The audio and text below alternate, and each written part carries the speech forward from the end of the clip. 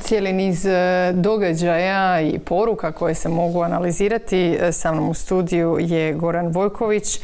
Dobar dan i dan. Evo, e, gospodine Vojković, imamo danas par novih informacija vezano za ove događaje u našoj zemlji. Prvi je da Milanović kaže da mu se oporba nije službeno obratila. Što to uopće znači? Jeste li stigli možda pogledati malo poslovnik i odredbe?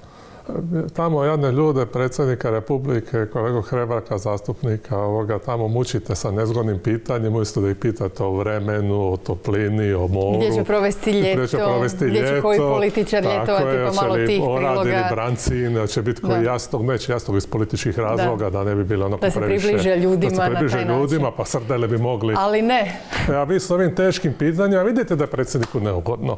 E, umjesto da sad ne, ne voli ni predsjednika, s druge strane ima novinara koji ga pita, umjesto nekog tamo ne baš verbalno ovoga, e, uspješnog HDZ-ovog sitnog činovnika, da ga da, ovaj napadne i tako dalje. Da, eto, napokon neki novinar koji zna više od njega, čini mi se da, da nešto rekao. Da, i vidim da se Hrebak jedan muči, jer on je pri, pri većini, a ni u većini, a sad je ovo teško opravdat, svima jako teško opravdat, vladajući bi htjeli... Ima termin za to, uh, svojedobno ga koristio, čini mi se, gospodin Čačić, projektna suradnja. Da, da, da, da. Tako je, ali vidi se po ovim e, facijalnim ekspresijama da im je jako neugodno, ne mogu se baš sakriti pred kamerama. Još ljepota 21. stoljeća imamo HD televiziju pa vidimo sve te detalje na licu. E, dakle, e, Prilično se veliki problem dogodio, prilično velika afera, da ne kažem nekim narodskim jezikom nije primjereno za televiziju, e, koja očigledno nikome ne odgovara jer ulazi u njihove tanane odnose i savezništva i potica i ko zna možda nekakve subvencije za predizborne kampanje i tako dalje. Jako se e, trude vladajući da ta afera se utopi u moru. Sad ide ljeto, pa je to prigodno. Da, da, da, to je idealno. Zato su i neki nezgodni propisi za vladajuće stavljanje u petak, recimo zakon o pomorskom dobru, malo popravili su ga, malo to se mora priznati. Možemo to kasnije prokomentirati. Ali stavljanje zadnji dan, pa onda pred vikend, pa tako da plus 35. Tako oni to rade i sada im je bitno se progurati do jeseni, to jest da nadat se da će građani manje pratiti. Međutim, afera je velika, nikome se ne upliče, očigledno se ni predsjedniku ne upliče. Što mislite zašto? Zašto ovo postavio kao da on mora birati neku stranu? A istovremeno priča o kriminalnom nemaru, a istovremeno e, se događa doista e, taj štrajk e, na sudovima i državnim odvjetništvima koji jest izvanredno stanje. I oko toga bi trebao, i premijer, on bi trebao već pozvati možda i premijera i predsjednika Vrhovnog suda, vidi što je ti, jer on je ustavno zadužen i za koordiniranje, odnosno Pa zato kažem, ako želi ima podlogu na gdje može operirati nešto. Ima. Dakle, što vi mislite? Zašto? Čini se da predsjednik ne želi ići u prave sukobe, nego se želi onako doći pred e, mikrofone i onda verbalne svoje radite skapade koje u biti na kraju E, jednostavno stvore maglu oko stvarnog problema. On tamo nazove nekog HDZ-ovog niže rangiranog dužnosnika sa svojim pridevima koje već kaže i onda on ha ha ha i onda svi oko njega ha ha ha vidi kako predsjednik mu je dobro mu je rekao, a u biti se ništa ne promijeni. Kad dođe do stvarnog fajta, nekako se jako dobro povlači. Evo sad smo upravo vidjeli kako se predsjednik povlači od jedne stvarne akcije koju bi prilično mogao napraviti priličan problem vladajućima. Naime, on ima ovlast sazva sabor. Ta ovlast očigledno ostala još negdje iz Tuđmanovog doba. Zaboravili su je Ma dokinu 2000. kad su mijenjali ustav i stvarali antituđmanovski ustav da ne bi niko imao te ovlasti. Nije razrađena dalje u poslovnicima, međutim stoji u ustavu. E, se to njemu ne radi. E, s druge strane, jedan dio oporbe napokon počeo se baviti konkretnim pitanjima i konkretnim aferama, to je Most napravio, i to je jedna promjena dosta velika u odnosu na dosadašnje stanje. Do sada oporba stalno govori kao HDZ ima loše vlada, u HDZ-u ima lopova, ima kriminala, ima afera, što u biti kad dođete nekom iz HDZ-a, on će se isto složiti. On će reći da, da, mi imamo i lopova i kriminala, mi se borimo protiv toga. tako je, ali to je tako. Mi smo velika stranka, pa su nažalost nam kriminalci došli. Neće niko u HDZ-u negirati da oni nemaju problema. Ali će reći, znate, mi smo velika stranka, pa uvukli su nam se razno razne, mi se borimo da se maknemo od tih. Ako imate saznanja, javite pa će institucija odradi. Dakle, HDZ jako to dobro održava. Međutim, sad je MOST krenuo sa konkretnim aferama, konkretnim novcima i konkretnim imenima. I to sada djeluje puno bolje, tu se sad HDZ-u puno, puno teže obraniti, a ovdje mi imamo, imamo premijera koji je potpisao uredbu, imamo očigledno lošu uredbu, imamo ministar koji nije nadzirao, imamo HEP koji je imao svoju ulogu sa svojim e, rukovodstvom i upravom koji je opet predložio premijer svojim potpisom, jer upravo HEP-a predlaže premijer.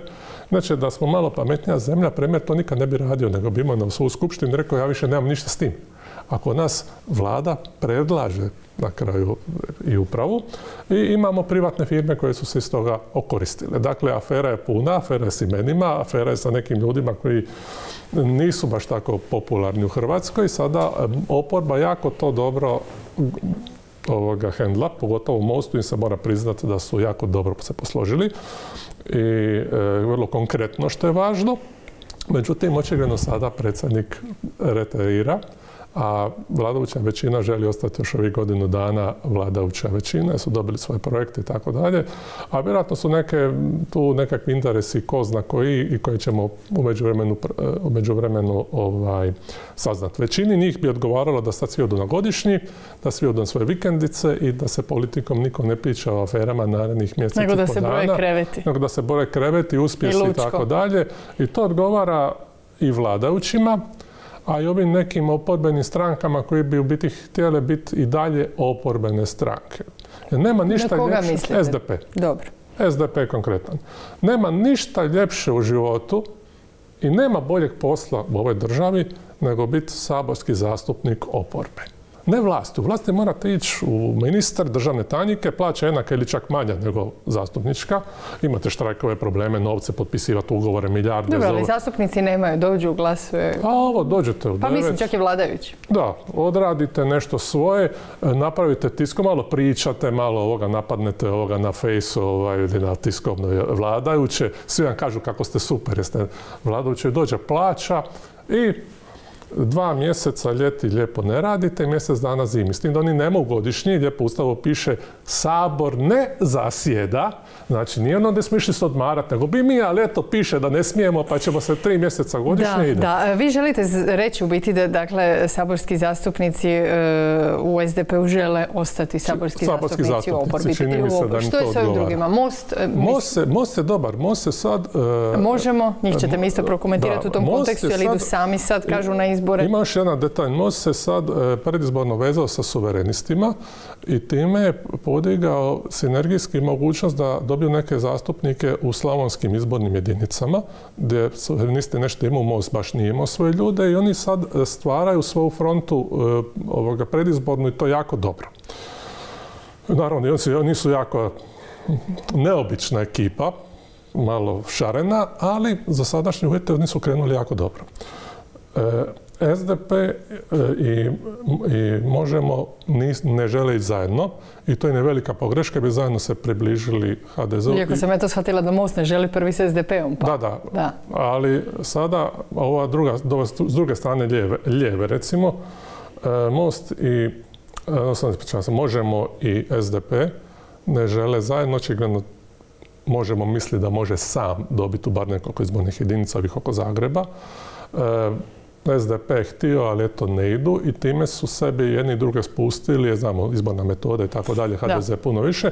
I još je problem sada, e, centar ne može s SDP-om, jer dalmatinski SDP ne želi sa centrom, bi morali opet dijeliti mjesto sabora, ko zna će li biti na vlast, onda, i onda nije moguća ni ne bi imala neke prednosti velike, moguća, ne bi imala neke prednosti koalicija e, Možemo i centra, i onda u biti imamo taj lijevo centralni dio, ove lijevo, lijevi centralni liberalni potpuno raspršen. Imamo tri stranke koje ne da ne surađuju, nego više ni ne pričaju. Na razu HDZ-a. Tako da u biti trenutno most sa suverenistima jedini koji gura napred. Ovaj lijevo liberalni dio se e, raštrkao. Samo liberalni stranka imamo šest koji su sve članice ove međunarodne udruge, znači nema praktično niti ja ne može u sabor bez ovoga koalicija.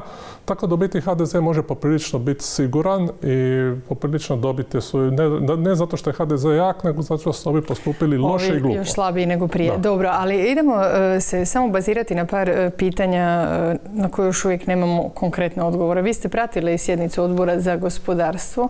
Jesmo li pametniji nakon te sjednice? Što je vama ostalo ključno i hoće li premijeru uspjeti ono što očito želi, a to je, da se vratim na ono svoje prvo pitanje, a to je da ova afera nestane sa političkog jelovnika. Svakako smo pametni.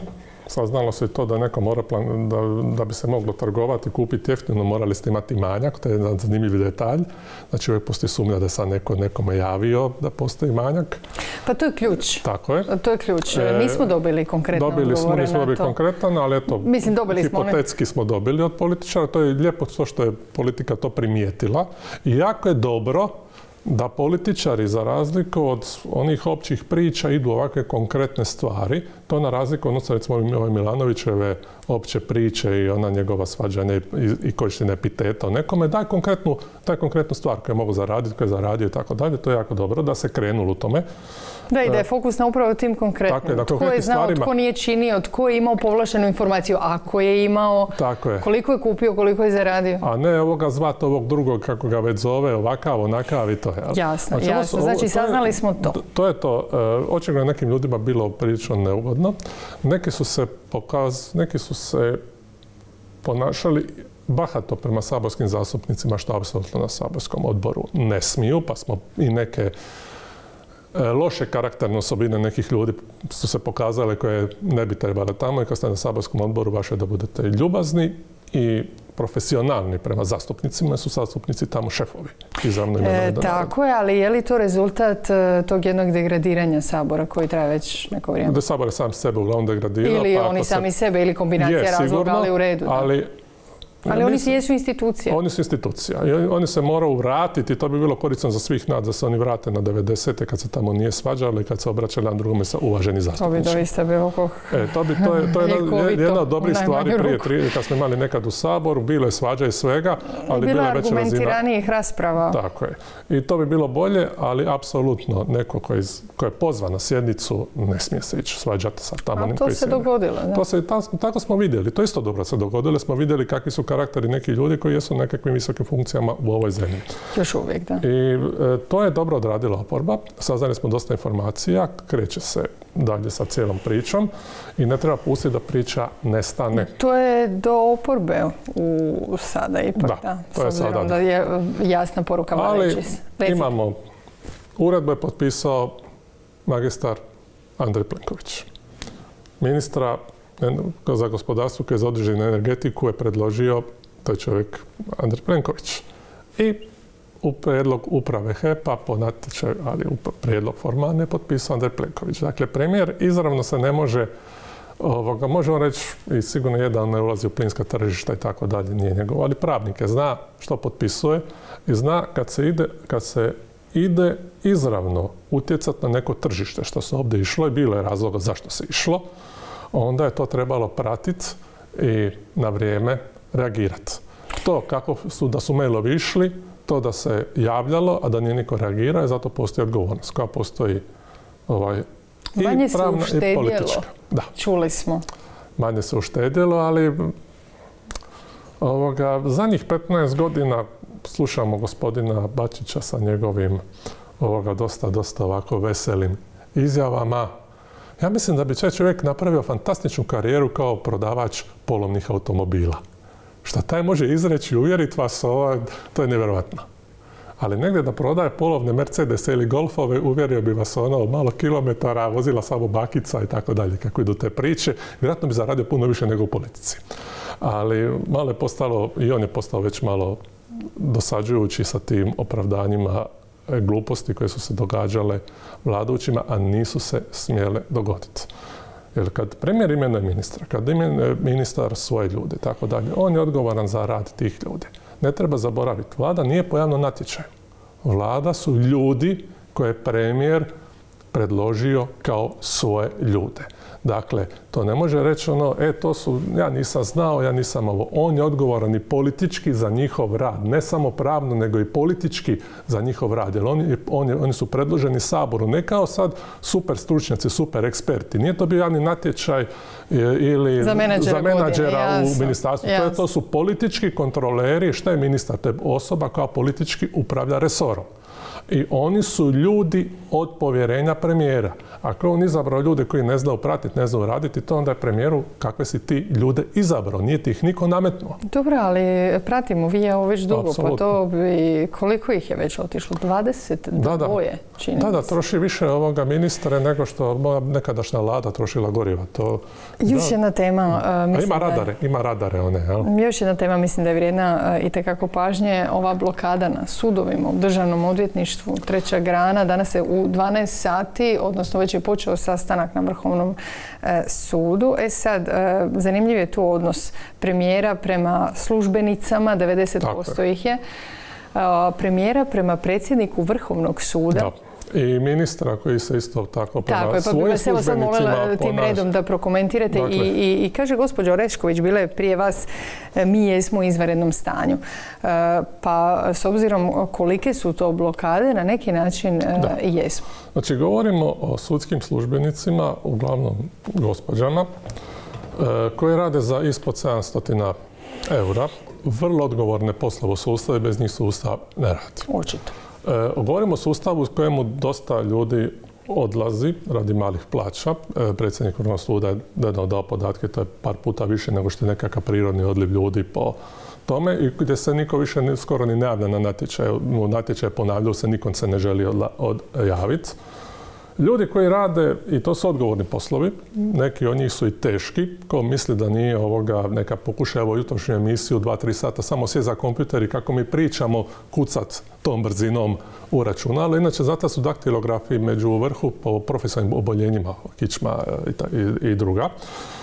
I Dakle, mi govorimo o gospođama koje su već kako su mlađi otišli, jer imaju neku šansu, koji su već nekakvim srednjim godinama s nekakvim brojem profesionalnih oboljevanja, koji dobivaju i mizerna primanja.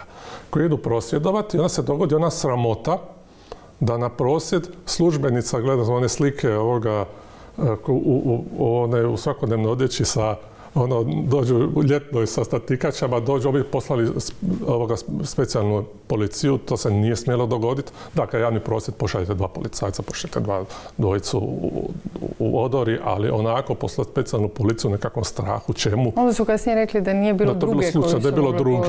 da. Ima, ima patrola sa dvojicom, sa golfom, odnosno sa onim, sa ovom sa Oktavijom i lijepo dođu i, i stanu Što mislite, što se dogodilo? Je se dogodilo popuni uh, od stvarnosti? da, da, to je, to, to je iracionalno. E, pazite, ne govorimo o hrpi navijača koji idu, idu sad nešto razbijaju, neki možda su agresivni, nose, ne znam, bejzbol police, bez, bez rukavice, jel? Znate onu odvjetničku kaže, ako nosite u prtljažniku bejsbol palicu, stavite i rukavicu, bit će vam odvjetnika ovoga, sretan. Dakle, nije to nekakva agresivna skupina, to su gospođe koje su došle sa posla ovoga, u ljetno odjeće na plus 30 i nešto, fičukaju i sad ovaj pošalje ekipu. One novi, ovi fotografi su napravili fantastične fotke, ono specijalna postorba sa svim onim oklopima stoji ovako. Mislim da je bilo neugodno i, i tim policajcima, apsolutno, da ih se šalje, šalje na ovo. Dakle, Ovi su tamo u NSK se ponašaju kao nekakva ono e, ko nekakvi faraoni odvojeni od svega koji sad se plaše ovih dragih gospođa umjesto da je premijer izišao i popričao sa tim gospođama gdje je problem.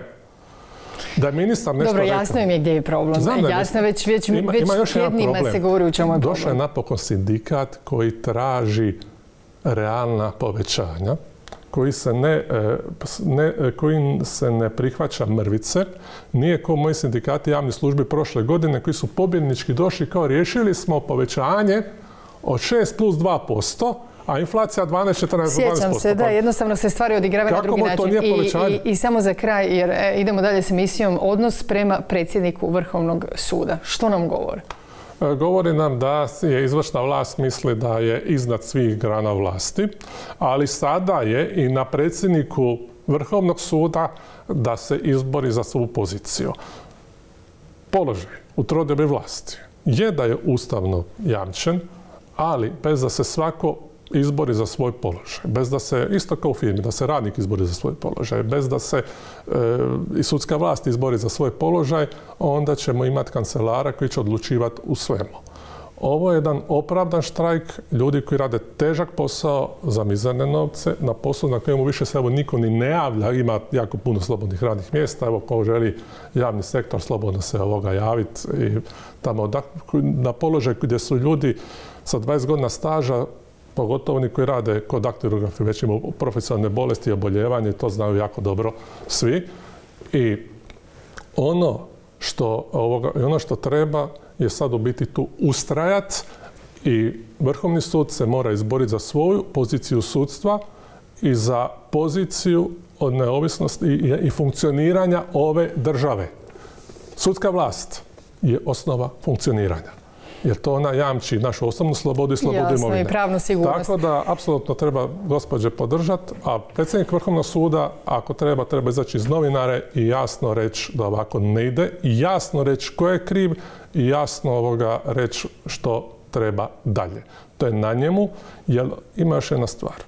Direktori, predsjednici, menadžeri, dekani, lektori, svi ovi koji su na nekakvim rukovodnim položajima, ne dobivaju taj novac koji dobivaju za rukovni položaj su lijepi, dragi, zgodni, pa čak i su sposobni u, smislu struke, nego zato što su menadžeri koji dobivaju taj novac da bi rješavali probleme. probleme pa neka sad vidimo, neka riješe probleme. Kako rješava probleme? Gospodine Vojković, e, čini se da za nas evo nema pauze, ima materijala za analizu, e, pratimo i ovo što čemu smo sad razgovarali, sastanak na Vrhovnom sudu, tako da se družimo i da. Tako je, lijepi pozdrav. Hvala vam.